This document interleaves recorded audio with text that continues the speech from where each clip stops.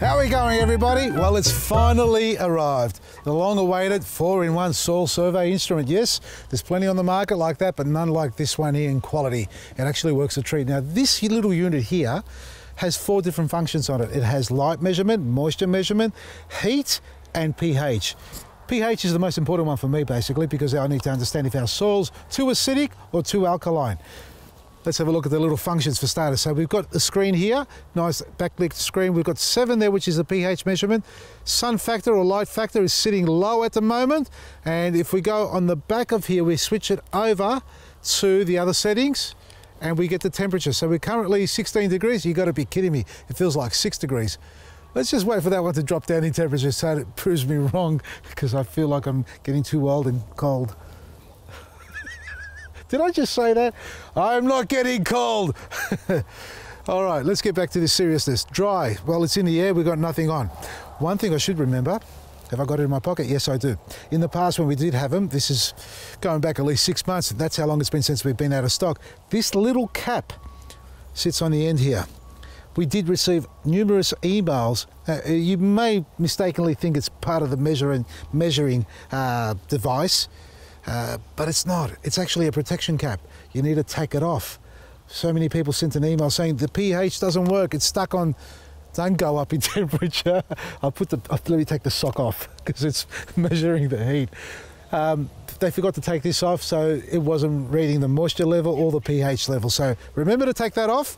And it's as simple as stick it in the ground. We're going to do the pH first and sit back and wait, see what happens. We're at 9, 8.5, 8. 7.57. Better be 6.5. Come on, don't stop there. Oh, there we are. So I want it to be around six, six and a half maximum. So we're in the neutral zone there. We're not acidic, we're not too alkaline, just right. Uh, besides the cold weather. So what's our sun factor? It's low. Let's switch it over now to measure the moisture level. Where are we now? We're 13 degrees in the soil. And what does it say there? I can't see that. Wet? It's wet. So wet plus, so it's quite damp. We don't have to add any water. It rained last night heavily too, by the way, folks. So there you are. We've measured this. Let's go over here. So that had the mulch on it. Let's see what we've got going on here. Lots of weeds too. So what's the moisture level here? So this soil's sitting at 15 degrees. Give it a second to settle down. It's wet plus as well. Sunlight factor is low. pH level is, I reckon this is going to be a little bit higher in, in uh, alkalinity. Wow, is that that high? 9, 8.5. It better drop. 8, yeah. It needs about a minute or so to settle in, so you can't just stick it in the ground and expect it to work straight away. It needs to absorb, take the moisture reading on it, as well as the pH. 7.5, wait a little bit longer, I reckon it'll get down to about 7. So this one needs a li little bit more fertilising, so I reckon we'll put some superfood on this, top dress it, and that's what you need to do. So you can't just look at the soil and guess whether it's wet, dry, hot, cold, or the pH is high or low pH in soil generally is about understanding how much acidity there is in the soil and it's controlled by adding fertilizers in organic obviously form. Now if you're using an organic fertilizer most times it'll be on a neutral base slightly uh, alkaline. If you want to build the acidity level you need to put things like blood and bone. Uh, our superfood will actually increase it as well uh, and that's pretty much it really or some castings or things like that but you don't use any synthetic fertilizers we had a little video or i did one on about synthetic fertilizers and there's what to watch out for where else are we going to go I've got a bag of compost here, folks, but it's not a little bag, it's a big bulker bag. And no, do not ask for a bulker bag off me because we don't supply it like that. I've had it here for about six or eight weeks. Let's test the pH on this one as well.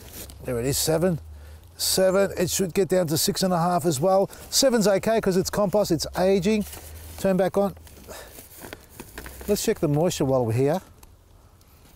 It is, it's wet. That's okay, wet plus. Delicious compost.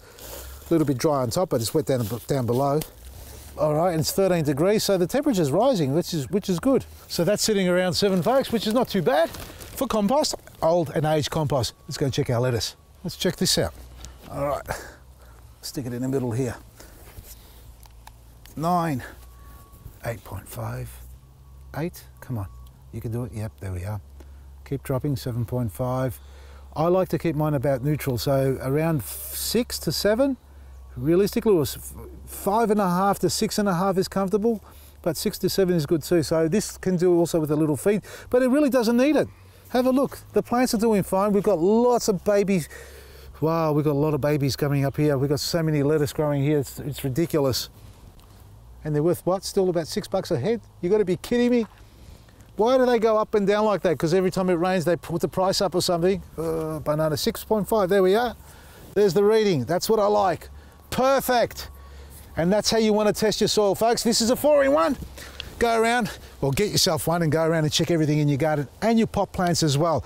Light, moisture, heat, and pH. Available on our website, vasilisgarden.com. And also, I did we did do a post on our deciduous fruit trees. They're coming to the end of the season, folks. We need to pot them all up, and obviously, when they get potted up, the price goes straight up as well.